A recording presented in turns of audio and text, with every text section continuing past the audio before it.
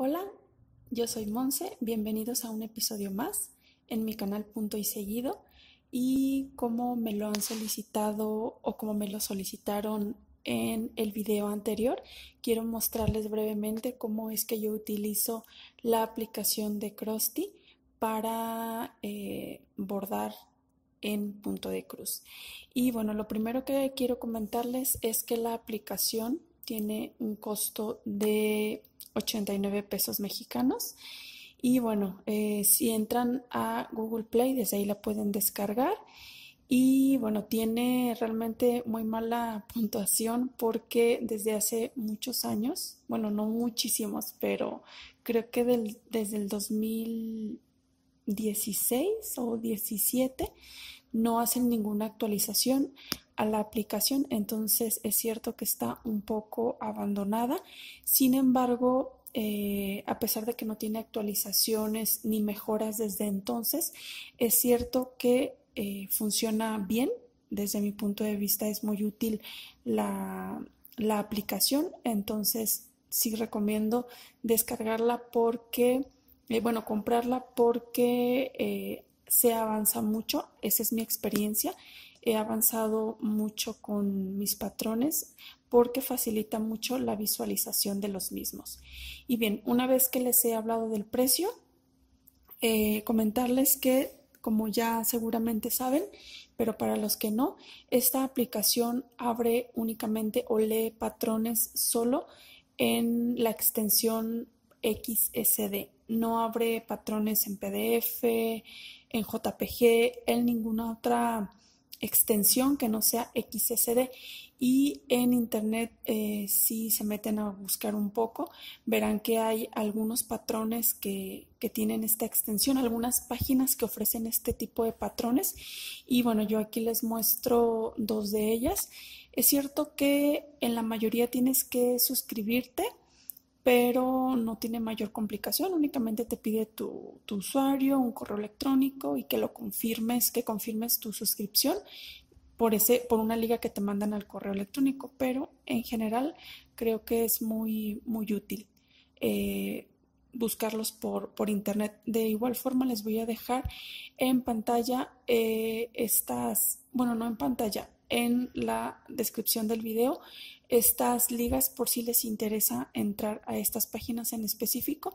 Esta, por ejemplo, tiene, aparte de XSD, tiene JPG y otras extensiones que, bueno, tal vez les puedan servir y si no, pueden hacer un filtro, según tengo entendido, para buscar los que son exclusivamente de XSD.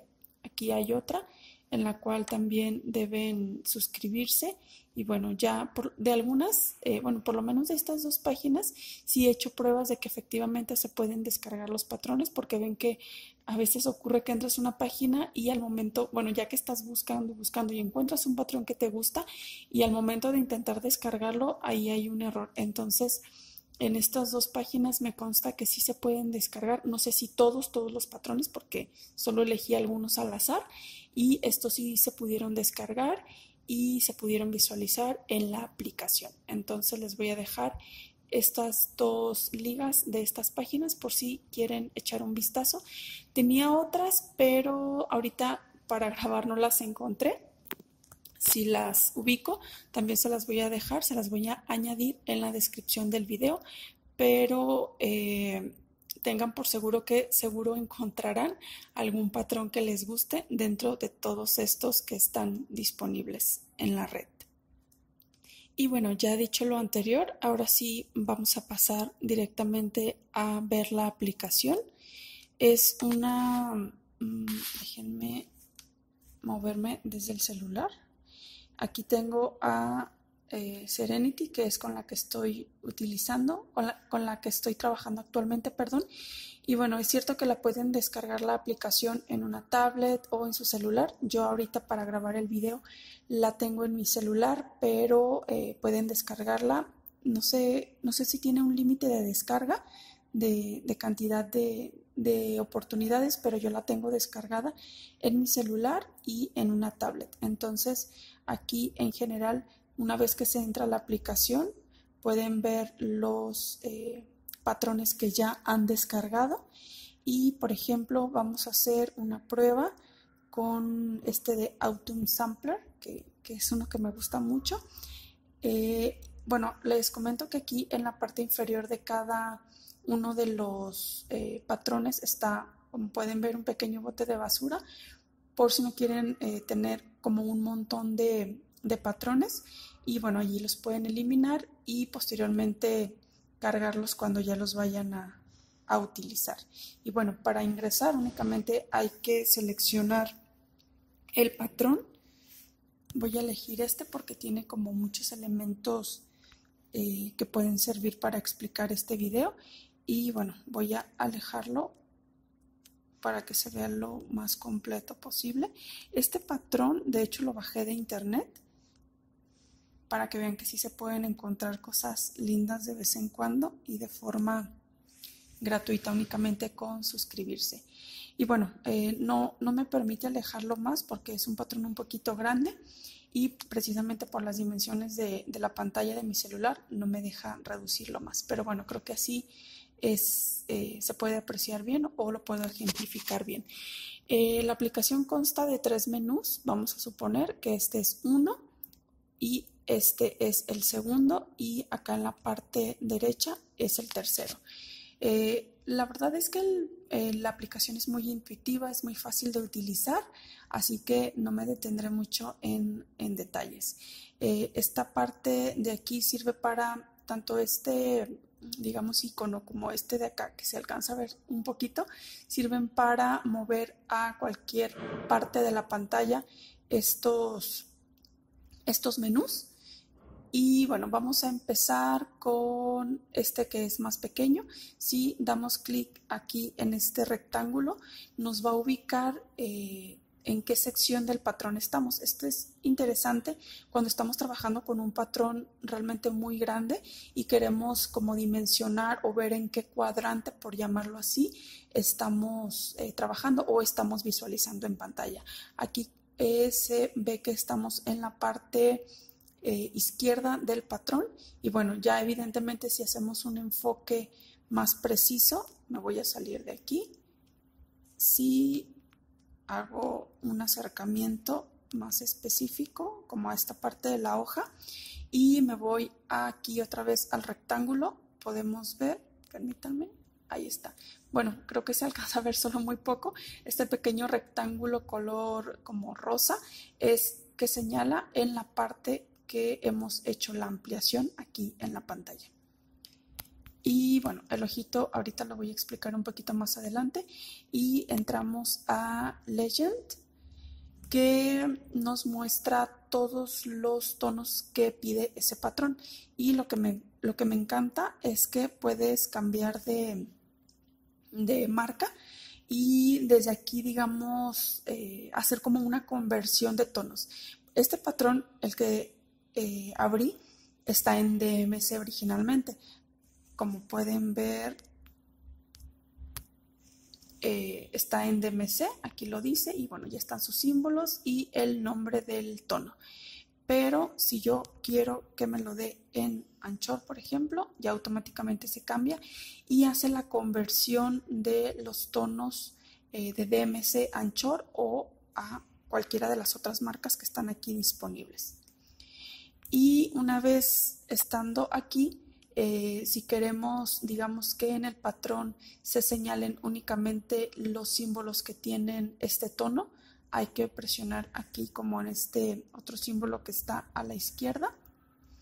Y si se fijan, ya se coloreó como esta, esta sección y las demás quedaron un poco en grises, porque en el patrón estaremos viendo únicamente este tono o este símbolo. Vamos a aprobar, sí, ya si se fijan todo lo demás está como más oscurecido, como en segundo plano, y ahí por ejemplo podemos ver lo que está, eh, lo que está resaltado es únicamente el símbolo que elegimos.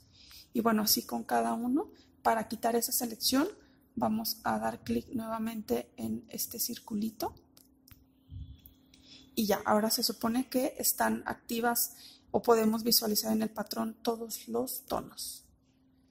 Luego nos vamos al punto, punto lineal y aquí nos especifica, este es como un conteo o un resumen de lo que vamos a necesitar para el patrón.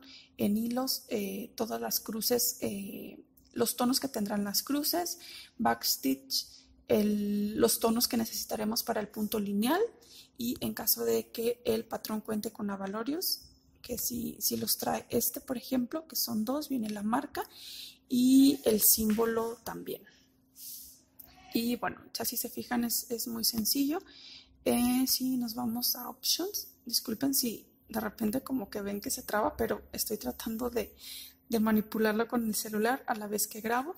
Y bueno, ya una vez que hemos dado clic en esta opción, nos muestra, eh, digamos, todo lo que estará visible en el patrón. Aquí es recomendable tener todas las secciones activas para que nos pueda mostrar eh, tanto punto lineal, eh, bueno, cruces completas evidentemente, medias cruces, un cuarto, tres cuartos, bueno, y así con todas las opciones que pueda tener el patrón. Por ejemplo, si desactivamos lo de full, que no nos muestra las cruces completas, y nos vamos al patrón, únicamente nos mostrará lo que no es cruces completas, que en general es eh, nos está mostrando únicamente punto lineal porque al parecer el patrón no tiene eh, eh, mm, cruces a la mitad o, tal.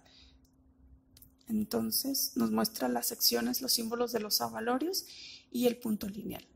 Bueno, volvemos a opciones y activamos el que nos muestre también las cruces completas.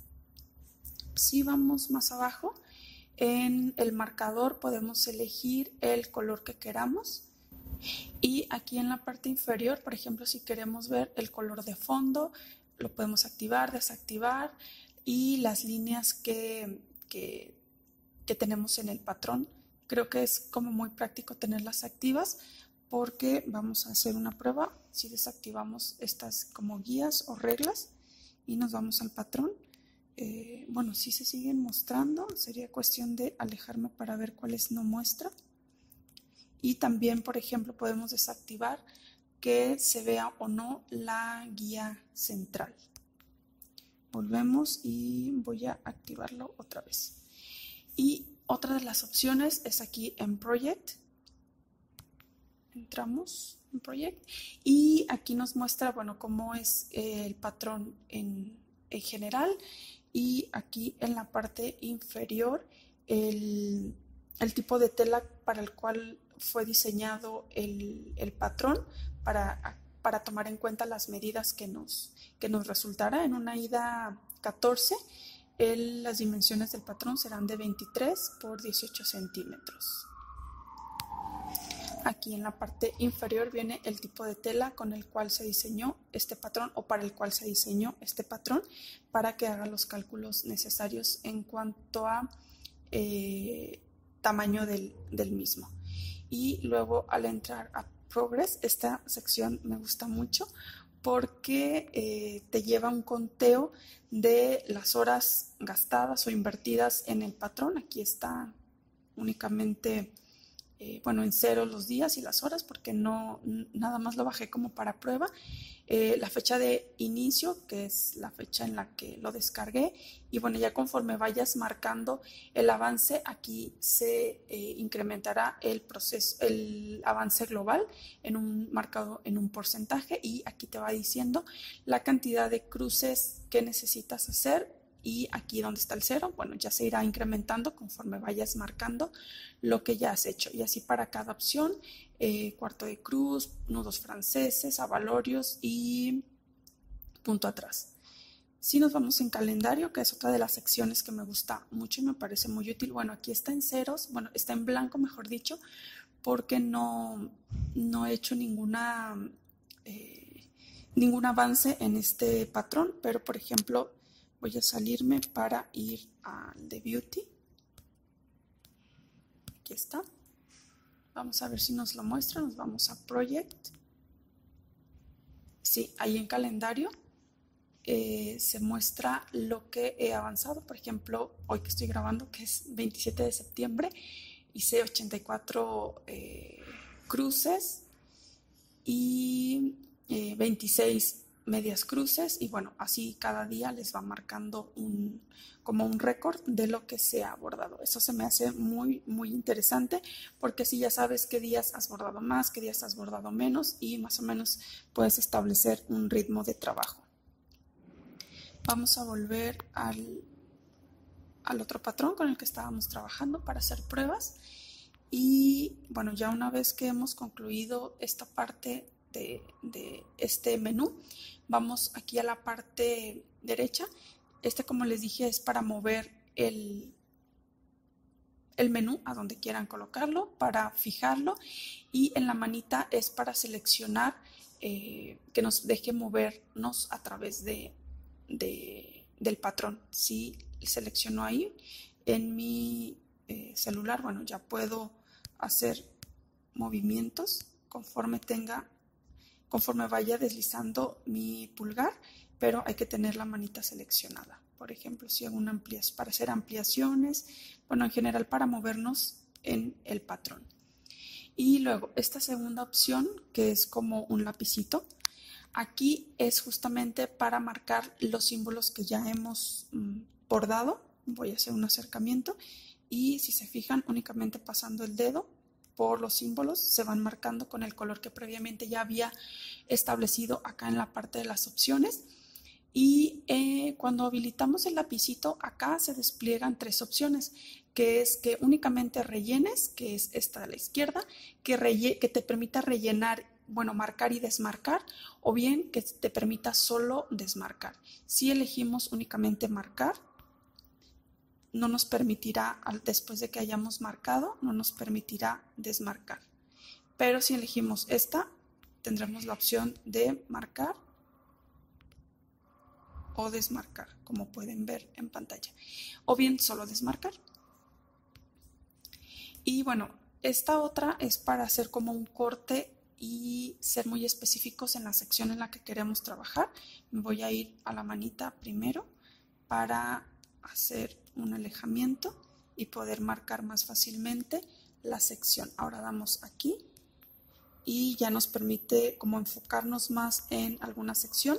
Damos otra vez a la manita si esa es la sección específica y en la que queremos trabajar. Y esto me parece muy, bueno, desde mi punto de vista muy útil porque visualmente a mí, por ejemplo, me ayuda eh, suponiendo que ya estoy trabajando acá en la parte superior y acá tuviese más símbolos, sí visualmente me ayuda a enfocarme únicamente en la sección y eh, trabajar más rápido porque veo más fácilmente los símbolos. Aquí está sencillo porque aquí en la parte superior no hay símbolos, pero imaginemos que hay un montón de otros símbolos, pero al establecer una línea, digamos, específica de trabajo, visualmente ayuda muchísimo porque la parte que está fuera de la selección, si se fijan, está como en un color más opaco.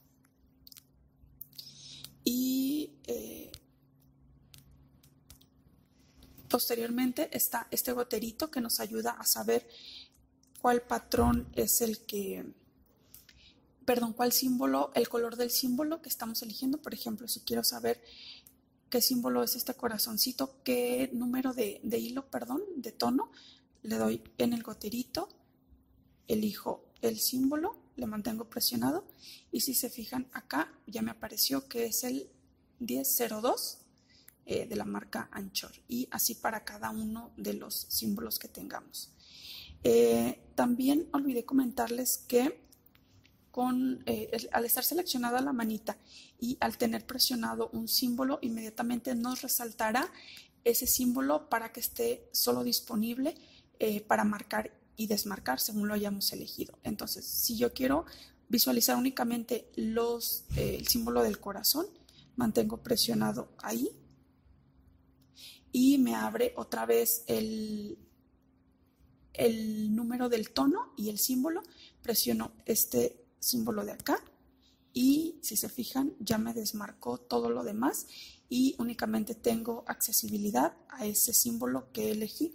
Entonces, si quiero marcar o desmarcar, me voy al lapicito y no hay riesgo de que yo pueda marcar otro símbolo porque únicamente estarán habilitados esos, ese símbolo que, que elegí que estuviera visible. Y esto me parece muy útil porque únicamente hay que pasar el dedo encima sin temor a marcar algo que no sea, que no sea lo adecuado. Si se fijan, no se marca la K, sino que únicamente nos establece este, esta opción de este símbolo.